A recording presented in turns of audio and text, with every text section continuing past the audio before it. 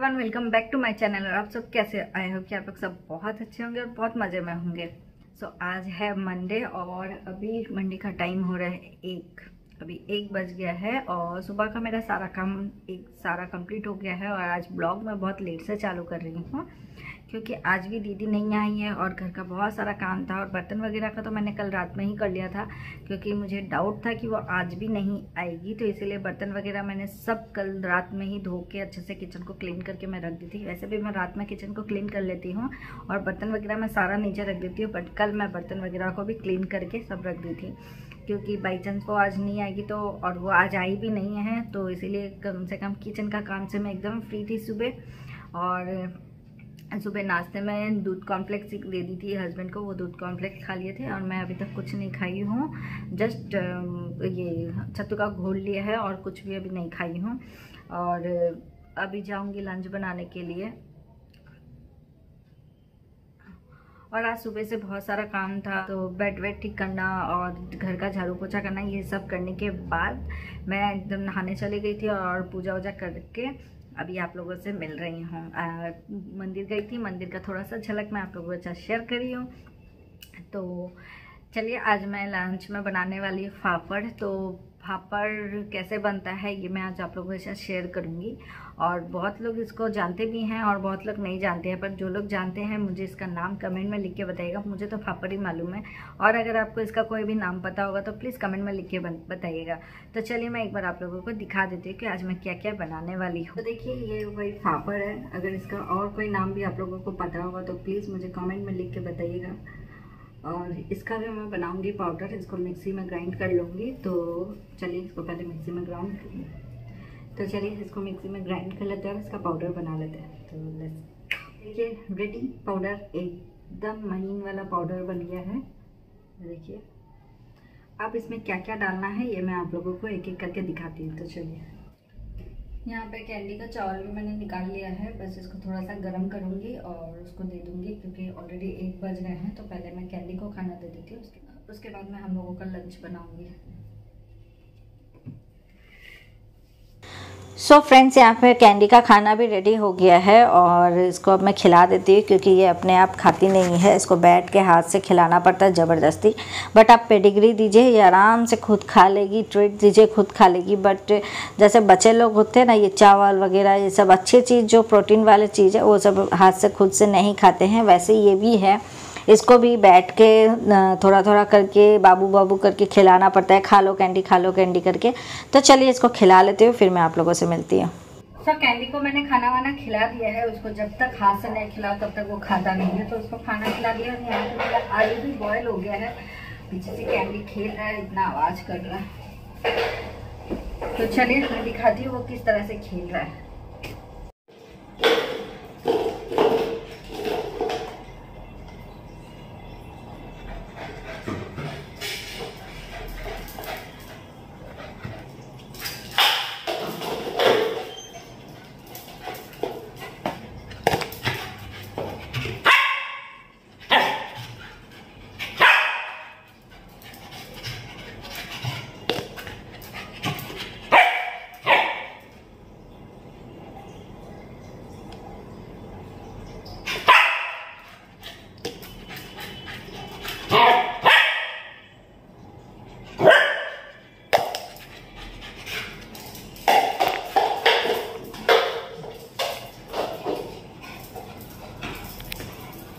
चलिए कैंडी का तो चालू है, उसके साथ जितना खेलेंगे उतना वो खेलेगा। तो यहाँ पे मैंने आलू बॉईल कर लिया है तो फटाफट आलू भी निकाल देती क्योंकि इसमें मुझे एक आलू डालना है।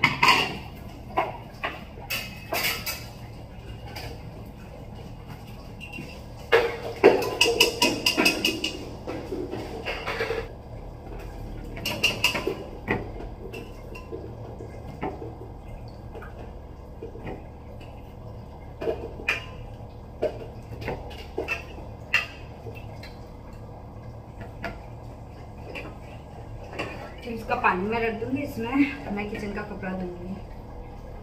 अरे!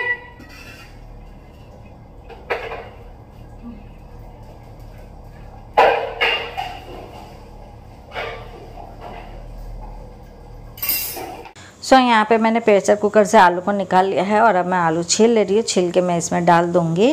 और आप चाहो तो इसमें पपीता बॉईल करके भी दे सकते हो केला कच्चा केला भी बॉईल करके दे सकते हो। देने से बहुत अच्छा होता है। एसिडिटी वगैरह का डर नहीं रहता है।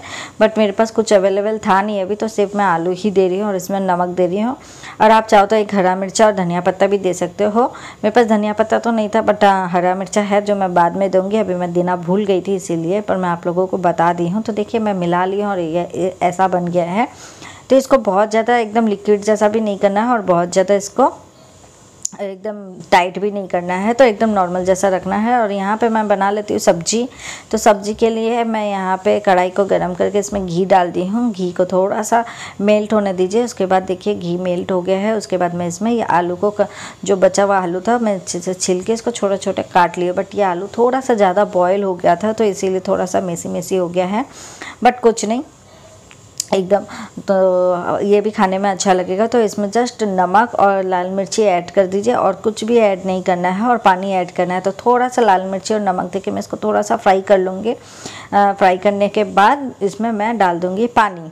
तो वहाँ पे देखिए कैंडी बैठ की है, वो मैं किचन में रहूँगी तो वो भी किचन में रहेगी, मैं हॉल में जाऊँगी तो वो भी मेरे साथ साथ हॉल में जाएगी। तो इसका ये लगा हुआ रहता है और एक हरा मिर्चा भी दे दीजिए ताकि इसका टेस्ट भी थोड़ा सा स्पाइसी स्पाइसी टेस्ट भी आए और हरा मिर्चा का स्मेल भी आता है तो अच्छा लगता है खाने में। और उसके बाद इसमें पानी डाल दीजिए। पानी को थोड़ा देर बॉईल होने दीजिए ताकि आलू तो बॉयल ही है बट कच्चा पानी डाल रहे हो तो इसको थोड़ा देर के लिए बॉईल होने दीजिए। और यहाँ पे देखिए, मेरा सब्ज़ी एकदम रेडी है। और देखने में जितना अच्छा लग रहा है ना, खाने में भी उतना अच्छा लगेगा। और अपने स्वाद के अनुसार इसमें आप नींबू डाल दीजिए। तो मैं अपने टेस्ट के अनुसार इसमें नींबू डाल ले रही हूँ। और बाद में भी अगर चाहिए तो आप ऊपर से भी आराम से दे सकते हो और गैस को ऑफ़ कर दीजिए। तो देखिए, मेरा सब्ज़ी एकदम रेडी और खाने में भी उतना ही टेस्टी बना था। बस साय थोड़ा सा नमक कम हो गया था, बट वो मैंने ऊपर से डाल लिया था। बट आप लोग भी टेस्ट करके नमक डालिएगा। तो चलिए, सब्ज़ी तो रेडी है। तो चलिए, यहाँ पे बना लेती हूँ। अब मैं फापड़ का पकोड़ा तो जैसे बेसन का पकोड़ा और भी जो पकोड़ा होता है, जैसे आप बनाते हो, वैसे ही इसको बनाना तेल को अच्छे से गर्म कर लीजिए और इसको ऐसे छोटे छोटे करके डाल दीजिए। और यहाँ पे मैं बगल में जो कढ़ाई में देख रहे हैं, ढका हुआ, उसमें मैं आलू का सब्ज़ी बनाई हूँ, सूखा वाला आलू का सब्ज़ी। रात के लिए एक ही बार मैं बना के रख दी क्योंकि और अच्छा नहीं लग रहा था। रात में बनाने का कुछ भी मन नहीं करता है तो रात के लिए बना ली और रात में सिर्फ़ रोटी बना लूँगी तो हो जाएगा। और अभी भी अगर हस्बैंड खाना चाहे तो उसके लिए वो खा सकते हो। तो देखिए, मैं दिखा दी हूँ एक बार कि ये मैं आलू का सूखा सब्ज़ी बनाई हूँ।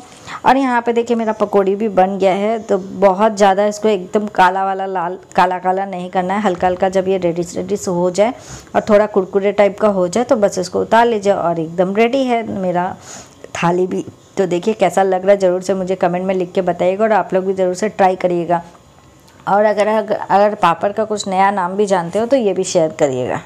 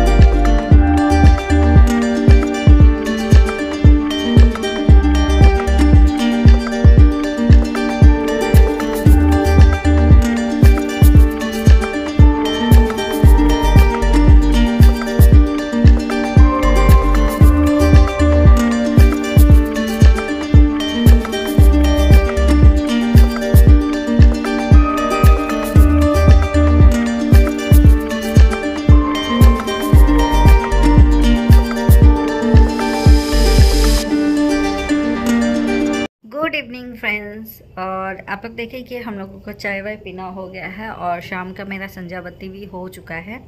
मतलब शाम का जो भी काम था सारा हो चुका है। और ये जो मूढ़ी मैं जो बनाई थी ना, आप आप लोग भी घर पे ट्राई करके देखिएगा खाने में बहुत अच्छा लगता है। और सबसे बड़ा बात है आप इस मूढ़ी को दो तीन दिन तक आराम से स्टोर करके भी रख सकते हो क्योंकि उससे ज़्यादा रखोगे तो फिर तेल का जो एक स्मेल आता है ना वो फिर स्मेल हो जाता है। बट आप दो तीन दिन तक इसको एयर टाइट कंटेनर में रख के आराम से खा सकते हो। आ, मैं ऐसे ही करती हूँ जैसे आज भी मैं थोड़ा ज़्यादा क्वान्टिटी में बना लेती हूँ पर सुगेंदू को बहुत पसंद है। मैं अगर ऐसे बना के दे देती हूँ और इसमें थोड़ा सा प्याज टमाटर और हरा मिर्चा भी आप डाल के दे दोगे तो और भी खाने में ज़्यादा टेस्ट हो जाता है। तो आप इसको ऐसे ही बना के, एक एयर टाइट कंटेनर में रख दीजिए, खा तो दो तीन दिन तक आराम से आप इसको थोड़ा थोड़ा करके खा सकते हो। तो एटलीस्ट ये बाहर का जो हम बाहर का जो नाश्ता वगैरह मंगाते हैं या मैगी वगैरह खाते हैं उससे तो आ, खाने में हेल्थी है। और मैं बहुत ज़्यादा भुजिया चनाचूर वगैरह भी नहीं डालती हूँ बहुत कम क्वांटिटी में डालती हूँ मूढ़ी का क्वांटिटी में थोड़ा ज़्यादा रखती हूँ ताकि खा के आदमी का शाम का जो थोड़ा सा पेट भरता है वो भी थोड़ा सा पेट भी भरता है खा के तो इसलिए मूढ़ी का क्वांटिटी मैं थोड़ा ज़्यादा रखती हूँ। और आप इसमें बादाम बादाम जैसे मैं देखे कि मेरे मेरे पास कच्चा बादाम थोड़ा सा था, मैं उसको अच्छे से थोड़ा सा भून ली थी, भून के फिर मैं मूढ़ी में डाल दी तो इससे मूढ़ी का टेस्ट और अच्छा हो जाता है। तो इस तरह से आप लोग शाम का नाश्ता पे ऐसे मूढ़ी बना के खा सकते हैं। मुझे सुकिंदू बहुत शौक से खाता है, उसको बहुत पसंद है इस तरह का मूढ़ी। और आप लोग सोच रहे होंगे कि मैं आज इतना मेकअप किस लिए करी हूँ? वैसे मेरा एक हाथ का आई उतर गया है और एक आँख में आई है। तो ऐसे ही मैं आज दोपहर में तो ऐसे ही आज दोपहर में थोड़ा सा मन किया कि इंस्टा में रील बना लूँ। तो अगर आप लोगों को मेरा इंस्टा का रील देखना है तो चल आप लोग मेरे इंस्टा को फॉलो कर लीजिए। इंस्टा की आईडी डिस्क्रिप्शन बॉक्स में दी हुई है। और बस ऐसे ही बैठ के रील वगैरह बना रही थी आज दोपहर में तो इसीलिए थोड़ा सा मेकअप कर लिया। तो कभी कतार ना थोड़ा सा आ, ऐसा चेंज अच्छा लगता है। ऑल टाइम घर का काम घर का काम ना थोड़ा सा बोर जैसा लगने लगता है और आप लोग भी बोर होने लगते हो ना। पर क्या करें, हम लोग में कहीं बाहर बार तो जाना होता नहीं है। बहुत कम ही होता है और अगर जाते भी हैं तो मम्मी के यहाँ, बस मम्मी के यहाँ या ससुराल चले जाओ और उसके बाद यहीं आ जाओ, फिर घर आ जाओ। तो बस यही है अभी अभी तो बहुत ज़्यादा हम लोग बाहर जाते नहीं हैं। बहुत रेयर ऐसा होता है कि हम लोग कहीं गए हैं बट अभी तो कुछ महीनों से तो कहीं गए ही नहीं हैं। तो कभी कदार थोड़ा सा चेंज मतलब थोड़ा सा चेंज लाइफ में लाना बहुत ज़रूरी हो जाता है, नहीं तो बहुत बोरिंग सा लाइफ होने लगता है। तो इसीलिए ही आज थोड़ा सा मेकअप वेकअप करी, घर पे बैठ के और क्या करूँगी, अभी तो कुछ करने का भी नहीं है। तो बहुत जल्द मैं अपना एक नई चीज़ शुरू करने वाली हूँ तो मैं बाद में वो जब शुरू कर लूँगी तो मैं आप लोगों के साथ वो चीज़ शेयर ज़रूर करूँगी बट अभी तक मैं शुरू नहीं की हूँ। प्लानिंग में है बहुत प्लानिंग कर रही हूँ, सोच रही हूँ, क्योंकि मैं जो करने वाली हूँ, वो बहुत लाइफ का इम्पोर्टेंट चीज़ है। तो इसलिए थोड़ा सा रुक के थोड़ा सा प्लान करके करूँगी। और जो भी है तो यही थोड़ा सा बैठ के मेकअप वेकअप कर रही थी और रील वगैरह बना बना रही थी तो थोड़ा सा चेंज हो गया। मूड भी थोड़ा सा फ्रेश हो जाता है। और तो चलिए, अभी मैं कैंडी का भी खाना कैंडी का भी खाना बनाना है मुझे, क्योंकि फिर उसको भी खाना टाइम से देना होगा। तो कैंडी का खाना भी मैं कल की तरह ही बना रही हूँ थोड़ा सा चावल और जो थोड़ा बहुत वेजेस है, वही सब, वही करके वही दे दूँगी और क्या बनाऊँगी? मैं रात को उसको दही चावल तो दे नहीं सकती तो थोड़ा सा वही कर, चावल ऐसे बना के कैंडी को वही खाने के लिए दे दूँगी। तो चलिए, आज के वीडियो में अगर आप लोगों को कुछ भी अच्छा लगा हो तो प्लीज़ एक लाइक दे दीजिएगा और फैमिली एंड फ्रेंड्स के साथ शेयर करना बिल्कुल भी मत भूलिएगा। शेयर करिए गाइज़ ये आप लोग आप लोग हेल्प करेंगे, आप लोग सपोर्ट आप लोग के सपोर्ट से ही मैं आगे बढ़ सकती हूँ। तो प्लीज़ गाइज़ मुझे सपोर्ट करिए और वैसे भी आप बहुत लोग हैं जो मुझे सपोर्ट करते हैं तो उन लोगों को दिल से थैंक यू और तो चलिए आज के वीडियो को मैं यहीं तक रखती हूँ। आप मुझे पर्सनली पसंद करते हैं तो आप मुझे इंस्टा पे फॉलो करिए।